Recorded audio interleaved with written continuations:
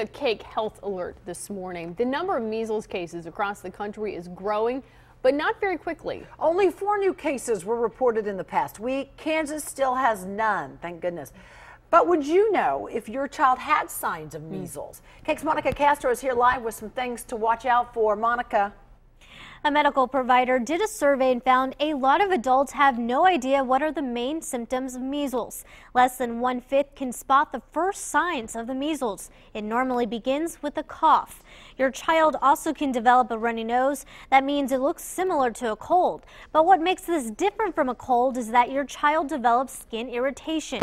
About 56% of U.S. residents knew that is a sign of the measles. One thing health experts do not recommend is bringing back what some parents tried 50 years ago. They had measles parties for children,